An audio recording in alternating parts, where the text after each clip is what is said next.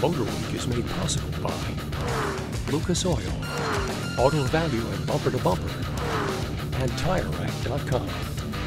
Many of you have heard by now that the fearsome Dodge Challenger SRT Hellcat's historic run of awesomeness is coming to an end. Some of our greatest Hellcat memories have taken place on the pavement of Savannah's Roebling Road Raceway.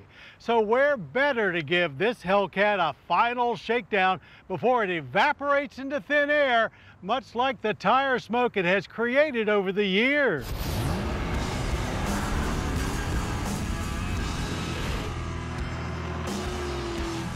Dodge SRT Hellcats will always hold a special place in our collective hearts. And just looking at this 2023 Dodge Challenger Black Ghost has us contemplating making more questionable decisions than an episode of Breaking Bad. It's one of seven special editions that Stellantis has planned as part of a celebratory last call for the Hellcat. Time to pause for some background on where exactly the inspiration for this spectacularly spooky hot rod came from, which you may need unless you patrolled the late night Detroit street racing scene in the 1970s. It was at that time a certain Hemi powered black Challenger with an alligator skin roof and white tail stripe would periodically appear to beat all takers and then disappear into thin air just as quickly with good reason. As legend has it, it was actually a Detroit police officer behind the wheel of what came to be known as the Black Ghost.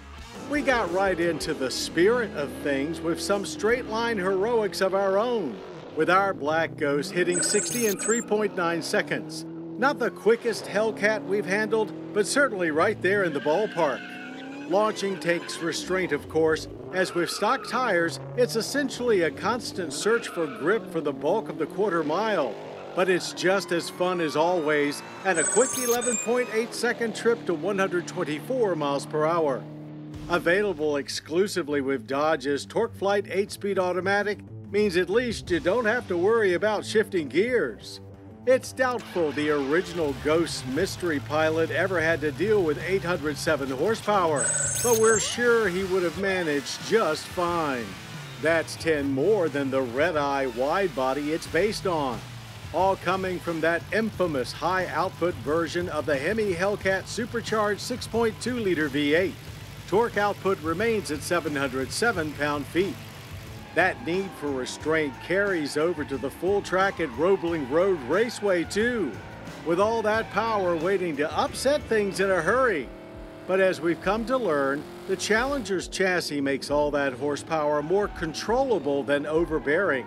Great steering feel and weight, along with a very responsive throttle, are additional, much appreciated factors in taming this beast, too. There is still a fair amount of body roll to contend with and high mounted seats that want to throw you out of the car more than snug you into it. But somehow that just seems to add to the fun factor.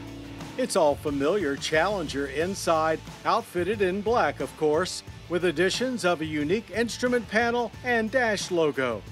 Things are still relatively upscale feeling and very roomy compared to most muscle car rivals with a nice mix of Alcantara leather and real carbon fiber materials.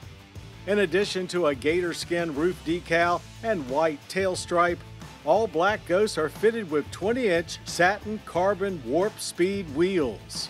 Dodge lettering in front of the hood, hood pins, chrome fuel filler door, and historical Challenger script logos.